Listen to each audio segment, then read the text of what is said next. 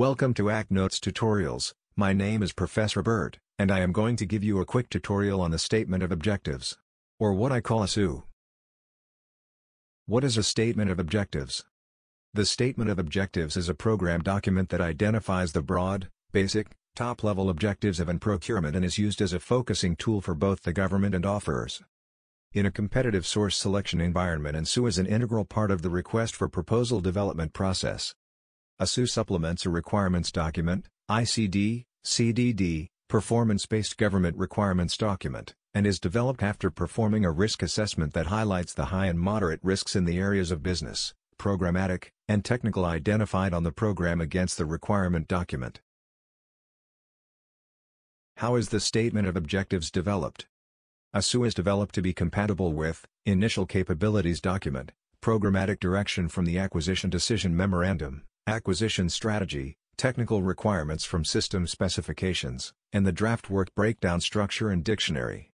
The SOO is then used, by offerers, to develop the contractor statement of work, the contract work breakdown structure, the integrated master schedule, and other documents supporting and defining the contractor proposed effort.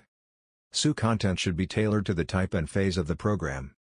The key is to keep the SOO clear, concise, and provide potential offerers with enough information and detail to structure a sound program, designed to be executable and satisfy government objectives. The SOO is a part of the request for proposal or solicitation and has value to both the industry and the government. What are the Statement of Objectives development steps? The following are the five steps that are an integral part of developing the SOO. Step 1 Conduct market research to determine whether commercial items or non-developmental items are available to meet program requirements. Step 2. Review the requirements documents that authorize the program, various DoD, services, joint services requirements documents for program management and acquisition management impacts to the program. Step 3. Prepare a bibliography citing the specific portions of all applicable governing instructions, directives, specifications, and standards with which the program must comply.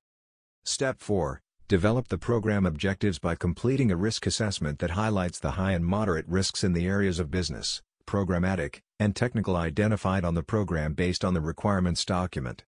And finally, Step 5. Draft the Statement of Objectives for review. Here is a notional format for a Statement of Objectives. Section 1, Overall Program Objectives, list the overall main program objectives.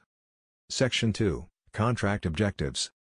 For multi-phase programs, describe objectives for each phase in a format similar to an indentured list. Clearly indicate which phases are part of the anticipated contract and any phases that will involve separate contracts.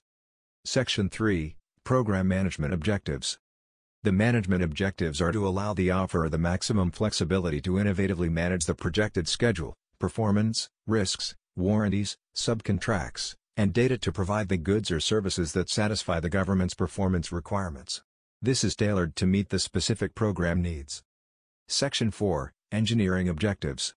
List the engineering objectives to include software and systems engineering. And finally, Section 5, Logistics Objectives, list overall supply chain objectives. What is the difference between a statement of objectives versus a statement of work? The biggest difference between a statement of objectives and a statement of work is that a SOO is not a contractually binding document where a SOW is. The SOO is provided in the solicitation in lieu of a government written statement of work. In this approach, the contractor's proposals contain their statements of work and performance metrics and measures, which are based on their proposed solutions. The SOO is also focused on risk where the statement of work is not. Thank you for watching this tutorial on the Statement of Objectives. For more information visit the webpage which includes a guide and best practice tips. Congratulations for finishing this tutorial and thanks for visiting AcqNotes.